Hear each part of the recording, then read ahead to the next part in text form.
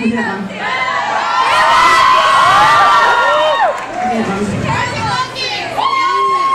We're going to do one story first. Yeah!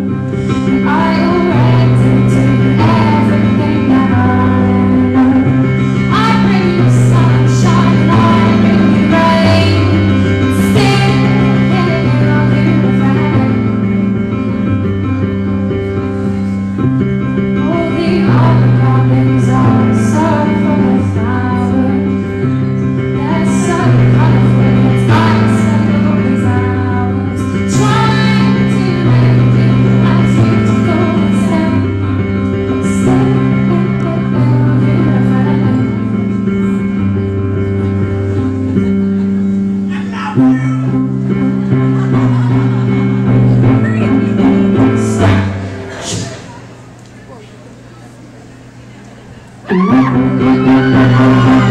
you.